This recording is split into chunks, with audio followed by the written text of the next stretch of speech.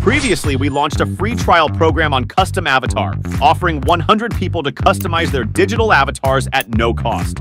For the coming weeks, I'll be sharing with you some of the custom avatar cases we've done. Case 2, Dan Kieft. Here is the footage he shared with us. Let's run a thorough check on it. 3 min silence. Check. 5 min talk. Check. Noise free. Check.